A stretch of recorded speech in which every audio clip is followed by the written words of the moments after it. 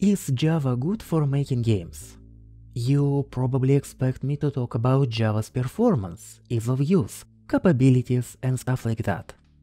I will, but there are three important topics to talk about before we dive into that. First, game engines exist. You should use an existing engine and the reason is simple. Making a production-ready engine that works on most of the relevant hardware, especially consoles, would take years. This basic prototype took me several months of non-full-time work, and it is terrible, and it's not even a game.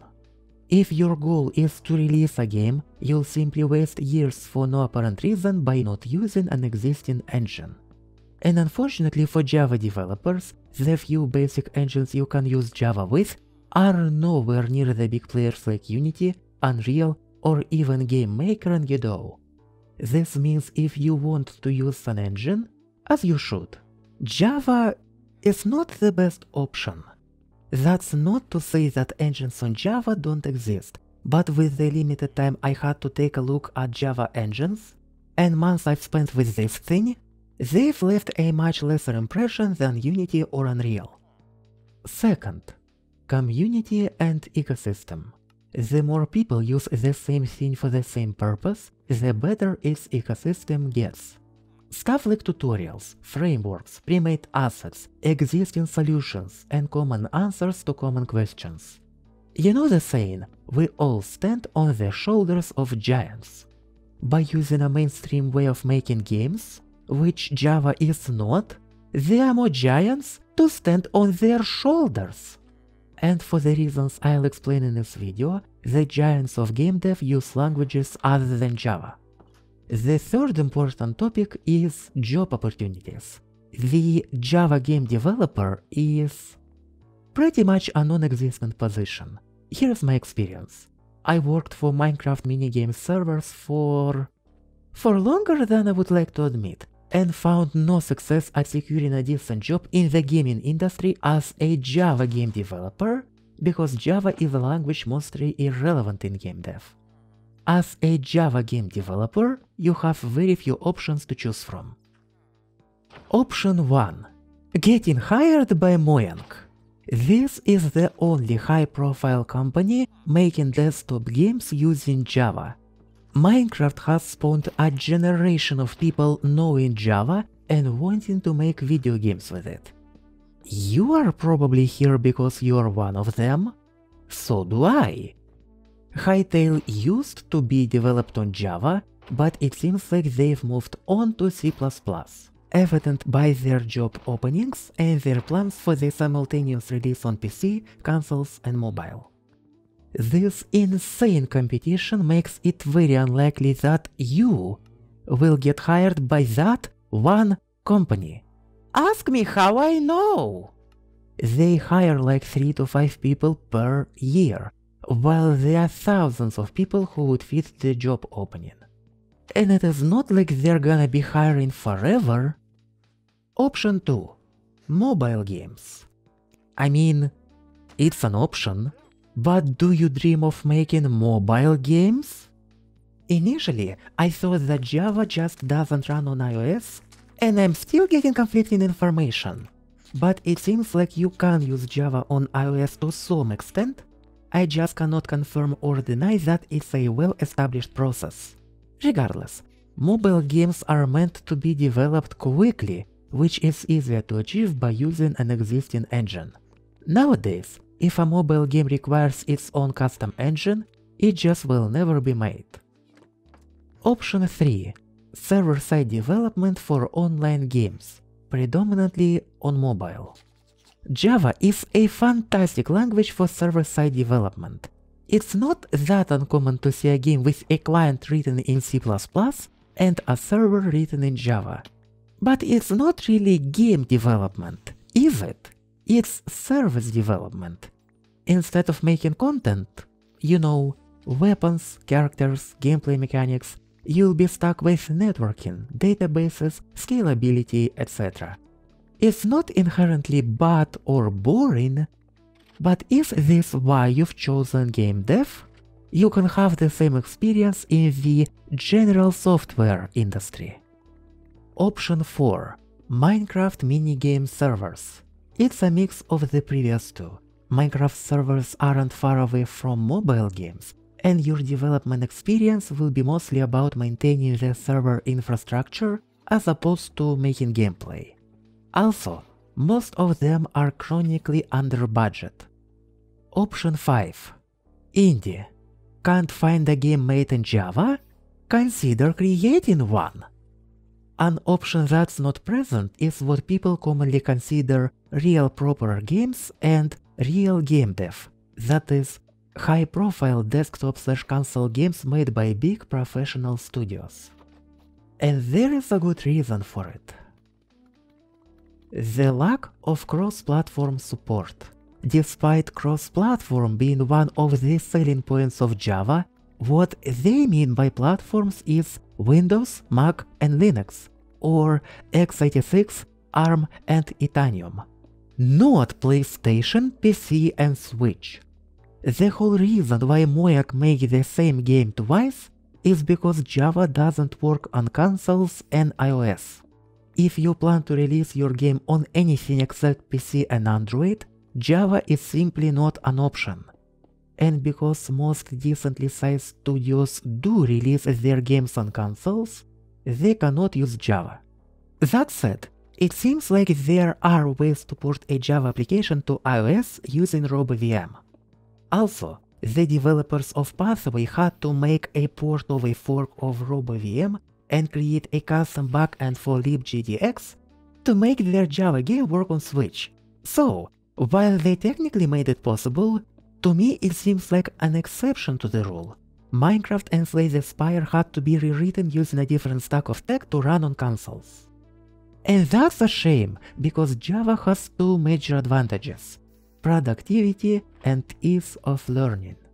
See, the whole point why Java was made and the reason why it's so popular as a back-end language for online services is productivity. If you are making an online service, the time of your programmers is a much more limited resource than servers, which you can rent more of at any time. It's just harder to hire more programmers than rent more servers. If it takes less time and people to finish a product, and the only concern is how many machines you need, you'll take this opportunity 9 times out of 10. And while in case of a client-side game, throwing more hardware isn't an option, spending less time on making a game means you have more time to optimize your game, which may result in even better performance than if you tried your game in C in the first place. Or you can make more of the game instead. I believe Java is the best language to be the first serious language, for two reasons. First, it has strict rules, patterns and structure, which makes it very possible to create self-documented code and stable code contracts. It's not a Java exclusive trait, but it's something languages without fixed types and objects, such as JS and Lua, cannot easily achieve. And second, it doesn't have that many features to learn, especially Java 8.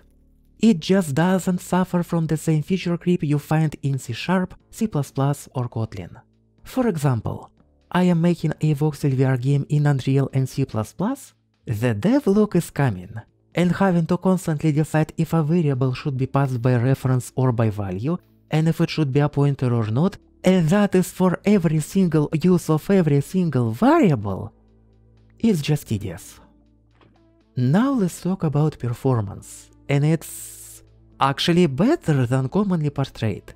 Yes, it has inherent overhead simply because of how the Java runtime works, but as I've said, spending less time on developing a product means you have more time to optimize your code and the Java runtime itself is also getting better with each update. As proven by the Minecraft mods called Sodium and Lithium, you can have exceptional performance in Java if you put enough time, effort and knowledge. There are two opportunities for troubles though. First, garbage collection. Every now and then Java has to stop whatever it's doing and spend time on memory management something a programmer on C has to solve during development and it doesn't affect the runtime. In modern Java it's not exactly true that it completely stops, but still, deciding when Java will start spending resources on memory management is outside of developers' control. If you as a player have frequent freezes in Minecraft, it's often because of memory management issues. Second, the Java runtime is pretty bad at calling things outside of itself. Calling an external library is by the orders of magnitude slower than calling a regular method within the Java itself. And guess what? Graphics APIs are sitting in external libraries, and you need to make a lot of calls to the graphics APIs. It might be a deal breaker for some niche cases, but for a normal indie game it shouldn't be an issue. So, if Java is a bad option, what's a good option then? I'm not really sure. Obviously, C++ is the go-to answer for making video games, but from the Java developer's perspective, I find C++ being a terrible starting point because of two reasons. First, C++ has so much more things to learn from the start than Java. And it's mostly low-level stuff you have to constantly keep track of. What to pass by reference, what to pass by value, when to use pointers, manual memory management. Like, there are much more decisions and considerations to make every step of the way. Second, arguably C++ tools are more clunky in comparison to C Sharp or Java, even within the same IDE. Here's an example. In Java, if you start typing a portion of a name of a class, the IDE will automatically suggest all possible answers and even import it for you automatically. In C++, you need to either know the exact name of a class to be able to include, or you need to include the file first, and then it will auto-complete a class name. Why is this important? Won't you naturally remember the names of classes you use? It's about discovering new classes. For example, let's say I want to read a JSON file. In Java, I just type JSON and it will suggest all classes with the word JSON in its name. And just by the name, I can guess that JSON reader might be the thing I need. In C++, you need to use external sources to know either the name of a class or the name of a header to include. The second language that comes to mind is C Sharp. It's it's very close to being a carbon copy of Java, but with better client performance and some feature creep. The issue is that the main reason why C Sharp is a viable language in game dev today is Unity. If Unity goes down, the prospects of making a cross-platform game on C Sharp become uncertain. It might be possible, Unity does it somehow, but it's not a well-established process proven to reliably work. Space engineers, which are written in C-sharp, support only Windows and Xbox. If a decently sized studio with a hugely successful game cannot make a PlayStation port, there has to be a very good reason for it. Moreover, if Unity will go down, it will open a floodgate of unemployed C-sharp game developers with next to zero game dev companies willing to hire them. Because, again, games have to be released on consoles. I doubt Unity will just instantly disappear overnight, but the prospect of it fizzling out is real for any piece of tech. That said, having to learn new things, having to adapt, having to migrate is... It's just an unfortunate reality in the IT industry everyone has to face all the time. If you believe Unity will be strong enough in the following years, then then C Sharp might be a good option even if you're a Java developer. It's not that hard to migrate. So, should you make games using Java? My answer is no if you want to pursue game dev as your career. There isn't anywhere to go with Java. My answer is maybe if a Java-based toolkit makes you significantly more productive than something more traditional like Unity or Unreal and if getting a job in the gaming industry isn't a big concern.